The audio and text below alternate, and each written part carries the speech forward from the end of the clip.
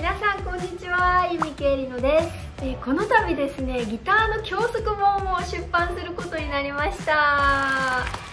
えー、ということでですね今日はどんな教則本が完成したのかということをちょっと紹介していきたいなと思います。じゃん。タイトルはアコースティックギタースタートブックということでその名の通りですね、えこれからアコースティックギターを始める方に向けて一からアコースティックギターについて解説していく一冊ということで、え当初私はですねもう本当に、ま基礎的な内容だけをこう丁寧にまとめ上げていく内容そんな感じになるだろうななんて考えていたんですね。でもですねこの制作が進むにつれてどんどんと深い内容にまで踏み込んでいくことになりまして結果的に初めてギターを手にした方がもう上級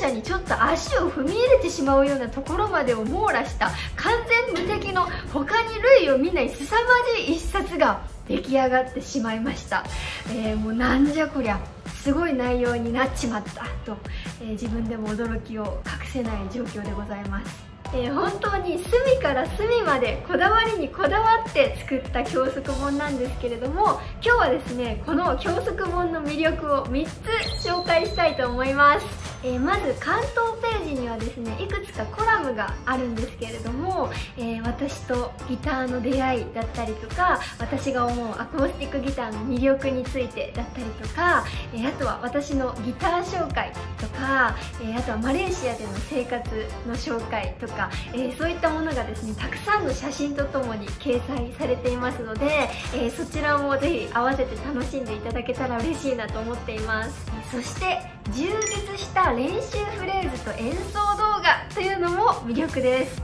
えー、練習フレーズはですね50個以上のフレーズがありまして全て動画で演奏を確認することもできます、えー、こういう感じの簡単な練習フレーズから始まりましてどんどんどんどん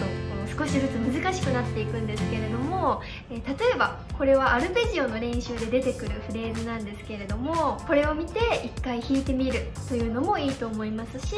え、どんな演奏になるのかを確認したい時はこれに対応した動画がありますのでそれを見ていただくということができます。もう一つこれはパーカッシブミュートというテクニックの練習で出てくるフレーズですね。これも譜面だけ見るとちょっと分かりづらいかもしれないんですけれどもちゃんと演奏動画がありますのでどんな演奏なのかを動画で確認することができます。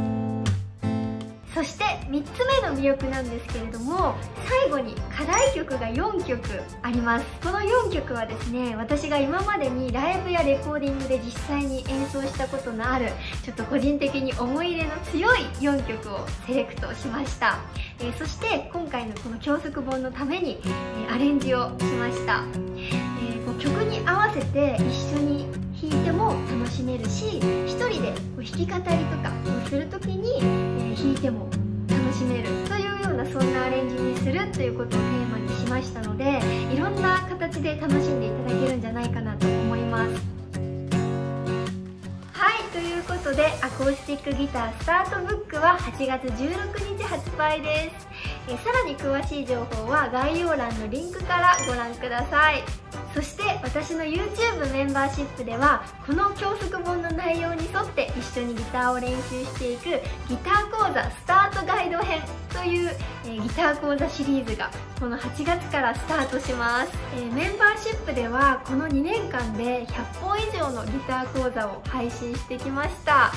えー、そして3年目に入ったシーズン3ではですねギター講座に加えてえー、マレーシアでの生活の様子だったりとか、えー、ギターでジングルを作って配信したりとか、えー、そういった新しいコンテンツも配信しています、えもちろん過去の100本以上のギター講座も見ることができますのでぜひこの機会にギターを練習してみたいなと思っている方やレベルアップしたいなと思っている方にご参加いただけたら嬉しいなと思っていますそれでは皆さん8月16日発売のアコースティックギタースタートブックぜ